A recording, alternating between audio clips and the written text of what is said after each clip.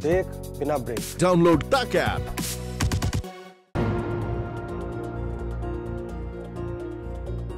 पाकिस्तान की कारस्तानियाँ एक बार फिर बेनकाब तब हो गई जब यूएन में भारतीय राजदूत सैयद अकबरुद्दीन ने कई कड़ियों में पाकिस्तान को जमकर लताड़ा।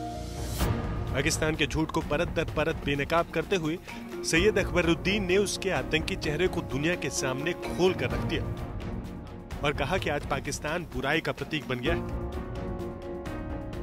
Mr. President, it is increasingly acknowledged that the Council faces crises of identity and legitimacy, as well of relevance and performance, the globalization of terror networks, the weaponizations of new technology, the inability to counter those resorting to subversive statecraft are showing up the shortcomings of the Council.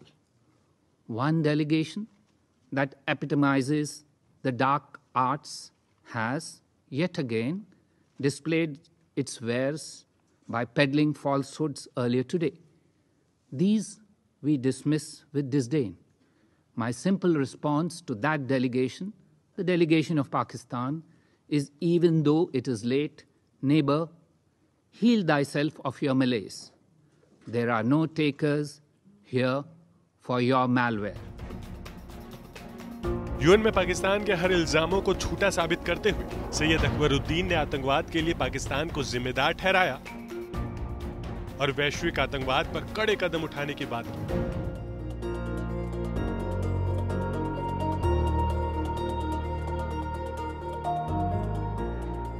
UN में भारत के स्थायी प्रतिनिधि सैयद अकबरुद्दीन ने ये बयान तब दिया जब पाकिस्तान के मुनीर अकरम ने जम्मू कश्मीर के हालातों को लेकर भारत पर हमला बोला। उसने आरोप लगाया था कि भारत घाटी में सब कुछ सामान्य होने के झूठे दावे करता है।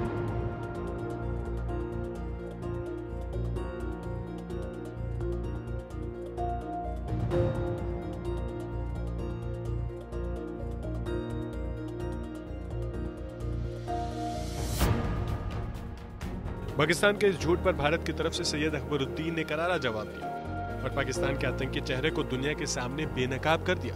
ज़ाहिर है कि घाटी में अब सब कुछ पहले से ज़्यादा बेहतर और सामान्य है।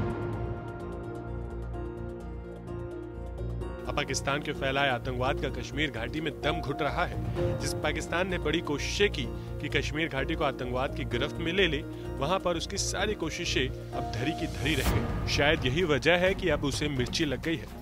और वो लगातार दुनिया के सामने कश्मीर को लेकर अपने घड़ियाली आँसू बहा रहा है। Bureau report, Bharat